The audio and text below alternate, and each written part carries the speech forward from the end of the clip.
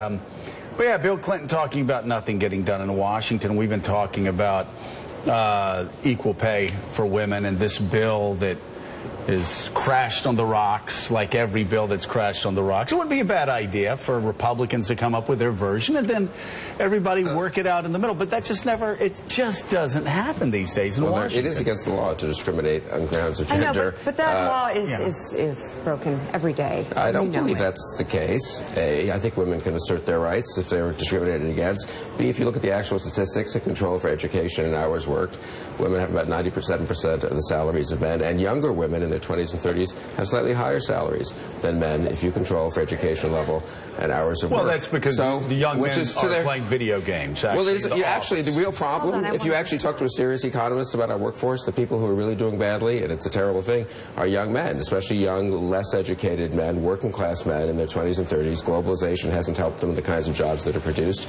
Uh, they are, you know, they have very social problems, much more, much more than women. I mean, that's a they do. fact. That's a Look, you fact. So the, the notion that the war on women or pay discrimination against women is in the top 20 of problems in the United States is frankly ridiculous. I say that as someone who's a big fan of women. I was here on the show Tuesday, and I told Joe that it was a terrible show because you weren't here.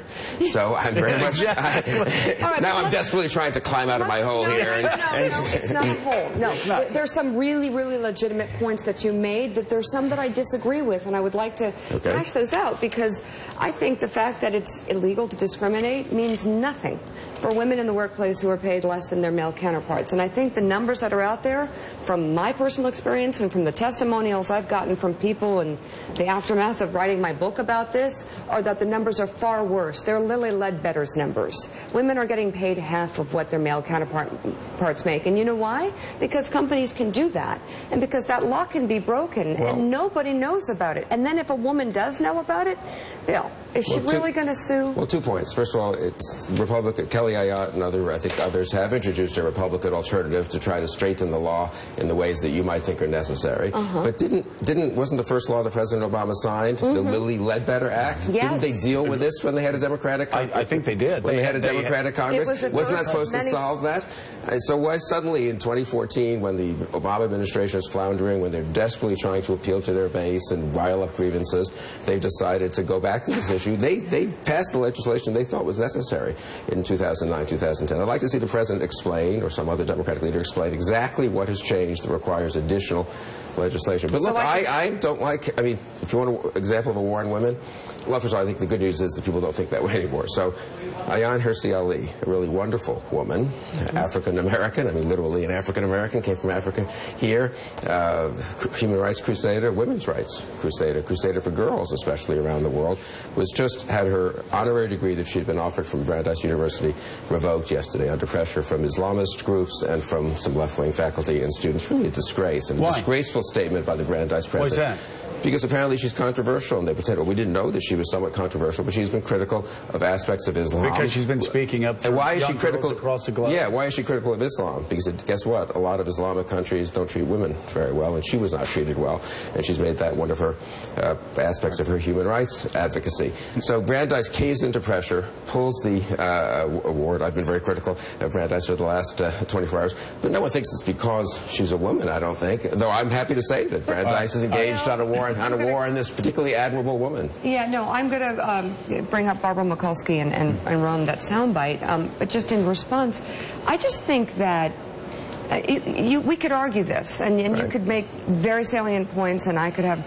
But wouldn't it be better for the Republicans and for the Democrats to actually put on the table things that address the problem that does exist, right?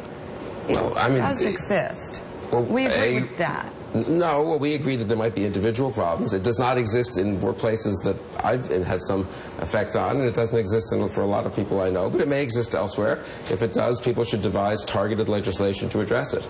But again, this, a lot of this is done at the state and federal level. An awful lot of states. That's what New York is run by Democrats. Washington D.C. is run by Democrats. Is, is, is there a problem? With, and they can pass whatever they want locally and, and, and, and statewide to address this alleged discrimination.